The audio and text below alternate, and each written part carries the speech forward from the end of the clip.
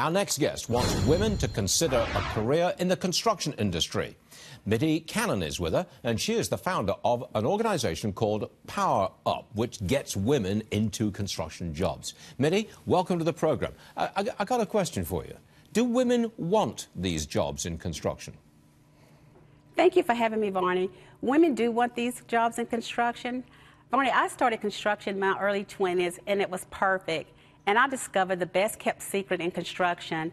And I have been on a mission to tell other women about these great career opportunities ever since. What do you do? You hold uh, classes, workshops around the country?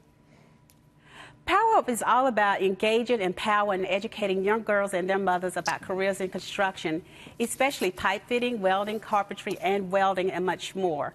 Power Up workshops will blend academics as well as hands-on activities, and most of the times the girls are performing tasks and they don't even realize that they're performing those tasks.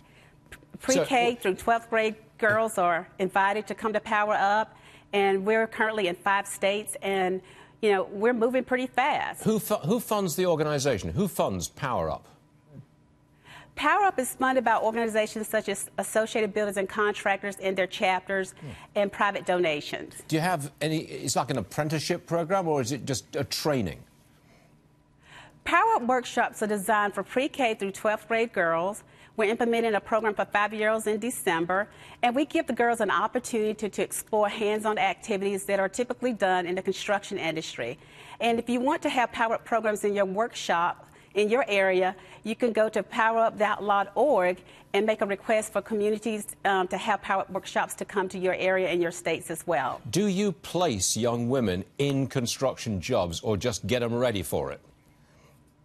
We do both. We work in partnership with, with Associated Builders and Contractor chapters across the country to bring our workshops to those various states. And so we work with both the contractors and the Associated Builders and Contractor chapters to make this possible. Mittie, welcome. Uh, thank you very much for being on the show. You're doing great stuff there, and we appreciate you being with us today. Come back and tell us how well you're doing in the future, okay? Thanks for having me. Sure thing. Got it.